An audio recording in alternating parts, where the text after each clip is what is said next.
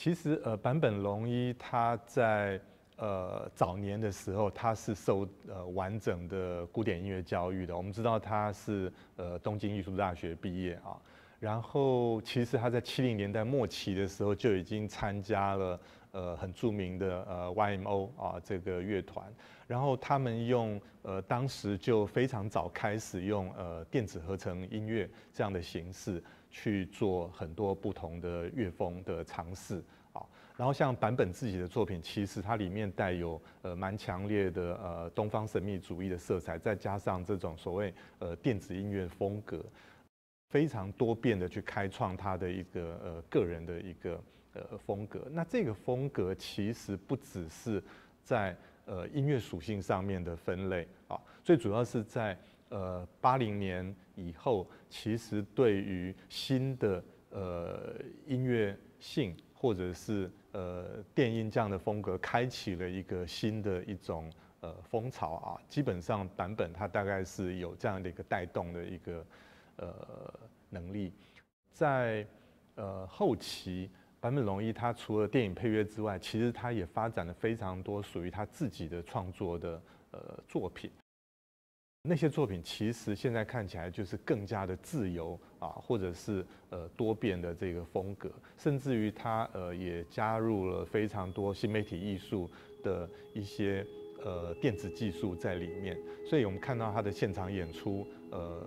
非常有趣，就是除了呃他擅长的钢琴演奏之外，其实还有非常多呃这个呃新媒体艺术的呃互动呃成音的这个部分，所以。呃，我们可以说，坂本龙一他的整个创作生涯里面，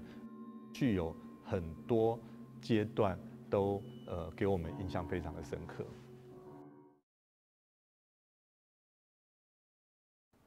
呃，我们对坂本龙一的呃以前的创作或音乐性，其实都还比较停留在那些电影配乐嘛啊，那所以呃这一次二零一七年他。呃，停了很久以后才发行的那个专辑《Think》，其实呃就让人呃有一个很深刻的感受，就是哎，他好像呃已经摆脱了所有那些呃呃呃传统音乐性以外的东西，回到他的一个内在。特别是他在二零一七年发行完那个专辑之后，他做了展览。那那个展览其实在日本有两次。第二次在呃设置音乐二的时候，特别把他在这个三一一日本地震海啸呃发现的这个呃钢琴呃也做到它的装置跟空间里面去。其实这样的形式在呃当代艺术的声音艺术这个范畴里面，呃有蛮多这种把声音装置跟空间整合的案例。可是。呃，坂本龙一他透过这样的形式去做创作，其实呃还是给我们非常的惊艳哦。就是因为我们平常对他的音乐性算是比较熟悉，可是呃当他把呃一个历史性的物件呃加到了他的声音空间里面的时候，呃其实他给人家的感动是完全不一样的啊。我们知道呃呃在整个呃设置呃这个。设置音乐二的这个作品里面呢，它有一个非常重要的主体啊，就是一台受海啸侵袭过的钢琴啊，所以这个钢琴它已经失去了原来钢琴的功能，或者是说它被原来必须要精准调音的钢琴的本质啊，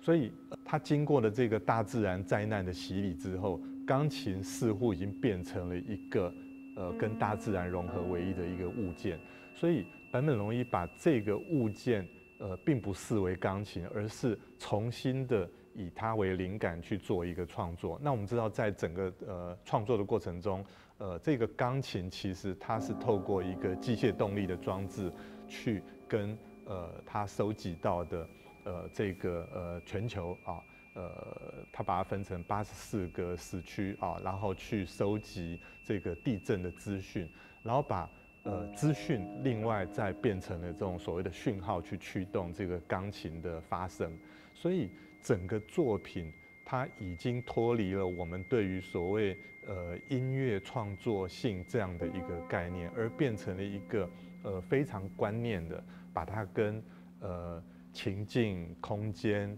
历史啊，还有他自己对于呃这个当时发生情境跟赋予他的一些情感呃的交流，呃重新的演绎出来，然后再加上高谷史郎，呃他在这个整个作品里面，呃把所谓的这个资讯。变成视觉化的这个过程，所以我们在那个现场可以感受到一个蛮多重的一个呃呃感官啊，除了声音之外，呃，现场的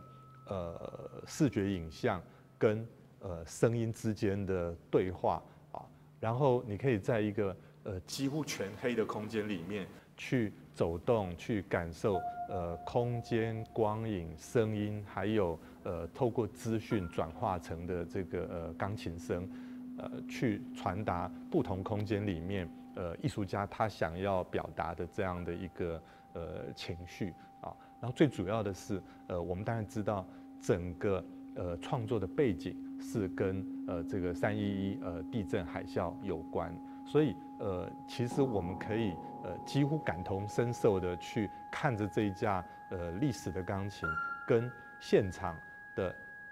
光影、声音啊，还有环绕声响的这种串流，去呃跟着呃我们的情绪一起在那边呃脉动。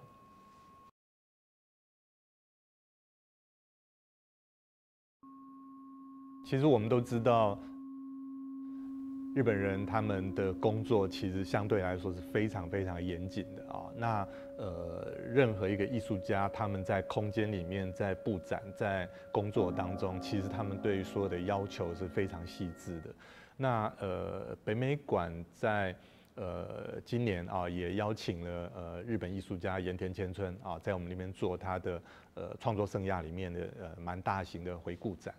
那呃蛮巧的是。呃，这次盐田千春在他的展品当中有一件是他二零零二年的作品啊，叫《静默中》，呃，也有一台钢琴啊，只是这台钢琴它呃所受到的呃灾难啊，可能不是像呃坂本龙一的呃钢琴啊，它是受到海啸的侵袭，而是受到火灾。所以呃，盐田千春他回忆他在九岁的时候，他的邻居呃突然着火了。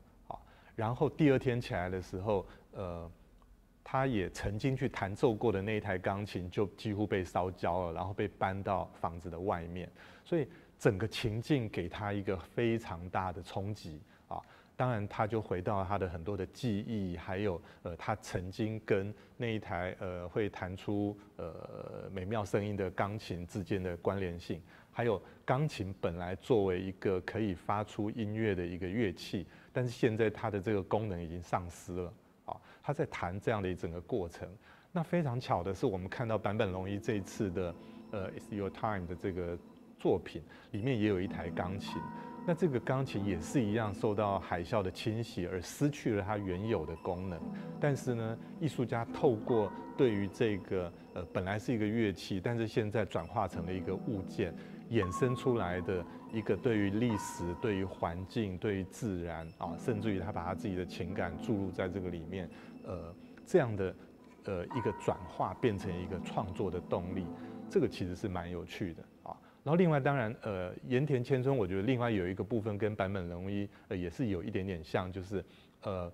他们两个其实都被宣告就是有得到癌症啊。那像盐田千春他。呃，在很早，二零零五年就被宣告得到癌症，然后后来在大概二零一七年的时候又被宣告复发啊，所以他的整个创作的历程都跟呃他对于这些所谓呃生命的看法是有关的。那呃坂本龙一其实有一点点类似啊，那我们知道他坂本龙一他在大概二零一四年的时候也呃被宣告得了呃咽喉癌啊。然后好像呃今年啊二零二一年年初他又呃宣告了，就是他呃转移变成了呃直肠癌，所以呃这些呃病痛跟他对于这个呃世界的观察，还有他把这些对生命的呃想法转化成作品里面的这样的一种比较深刻的表现，其实对于艺术家来说，你会发现，哎，其实都有共通的地方。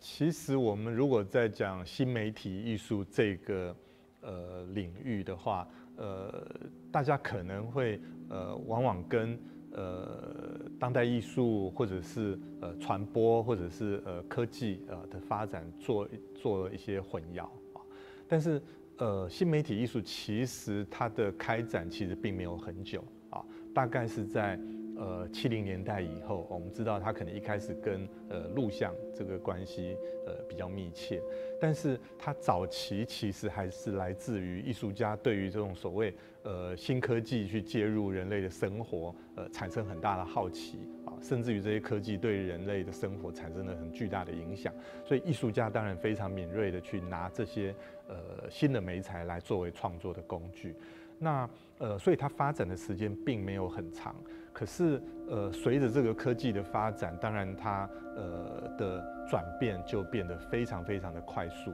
那它的类型也非常非常的多啊。那包括像呃，它随时都会跟最新的科技发展去做结合，包括像生物艺术啊等等的啊这些新的东西。那台湾的话，我觉得呃，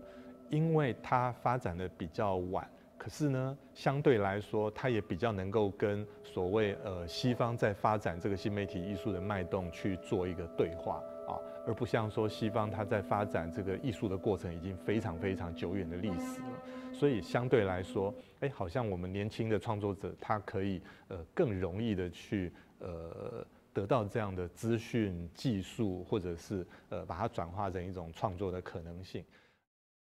再来就是说，新媒体艺术或科技艺术，它在最近呃几年的这个发展，其实它呃导向了一个蛮跨领域的一个发展的方向啊，就是说呃不是跟早期我们还是用呃单一类型的角度去看待它啊，譬如说录像、光、声音啊、互动啊等等的，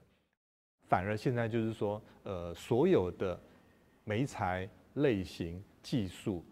它都可以被呃跨域的在一起去呃进行创作啊，所以我们看坂本龙一他的作品，其实就有这样的一个属性，就是说，哎，看起来我们呃可能觉得他是一个音乐家，可是他可以跟不同的呃视觉艺术家合作，然后以一个装置的形式去展现他呃创作背后的另外一种更深层的一个感受力啊，所以我觉得新媒体艺术它。呃，我们常常说它可能是一种未来艺术可能的一种形态啊，不受传统艺术的影响，呃，反而可以开展出呃非常非常多多元的呃可能性。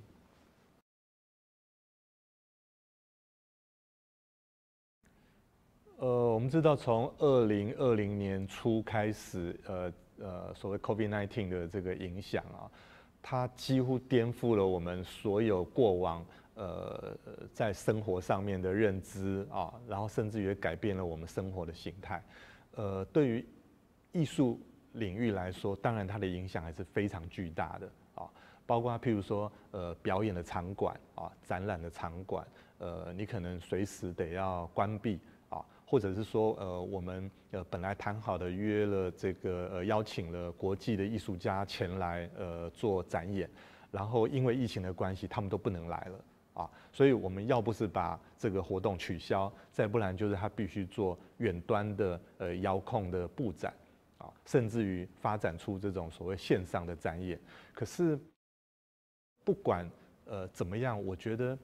艺术它可以感动人啊，就是它其中有一部分还是一个最直接的面对面的接触。所以当因为疫情，所以我们不能面对面直接接触的时候，它其实影响是非常巨大的啊。所以，我我觉得它可能有两个面向啊，一个就是呃，我们怎么去呃开展这个所谓呃数位的服务。当你不能够实体的去参与这些展演活动的时候，呃，你也可以透过线上的方式去接触啊。可是，呃，如果它只是一个呃呃把实体的展演转化成数位的时候，其实它呃跟对于观众的这个感动力其实还是非常弱的啊，所以呃，他或许必须要去开发一种新的技术的可能性，让呃观众可以呃更直接的介入到呃这个呃展演的内容里面去，譬如说像虚拟实境啊等等的呃技术啊，它都是可以被运用的。但是呢，我觉得呃实体的呃艺文展演的活动，它还是很难被取代的啊，所以我们当然会期望。它是可以适度开放啊，让观众可以真的面对面的直接去参与这些实体的展演。那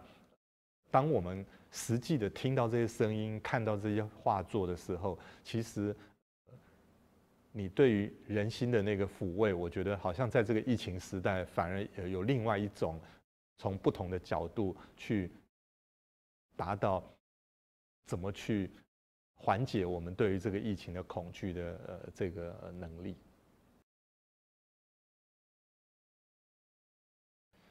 呃，我想传统上我们对流行音乐的认知啊，就是呃有一个现场的演唱会或音乐会啊，然后观众跟这个表演者一种很很呃直接热烈的交流。可是我觉得台北流行音乐中心，它跟传统我们对于那样的认知。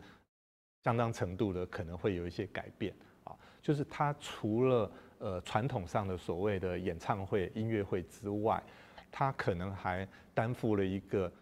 怎么去更深度的认识音乐啊这件事情。所以呃，展览会变成呃实体的所谓的音乐会或演唱会以外的一个很重要的一个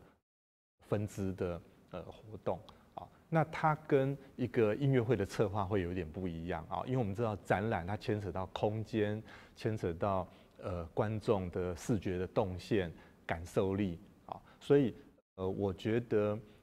台北流行音乐中心它除了有非常棒的呃这个表演的场馆之外，另外它也呃发展了这个所谓文化馆的相关的活动，我觉得是非常呃。重要的啊，因为呃，它可以透过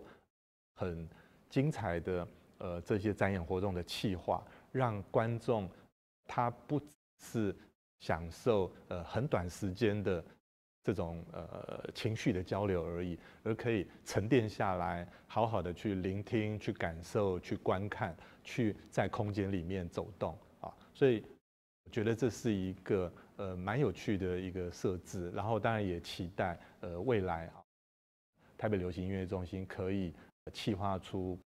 更好的展览。